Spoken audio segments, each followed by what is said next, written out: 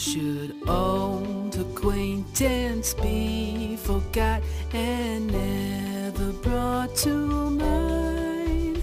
Should old acquaintance be forgot and auld lang syne?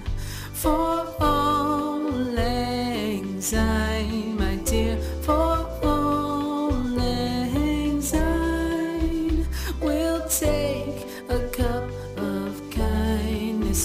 for all anxiety.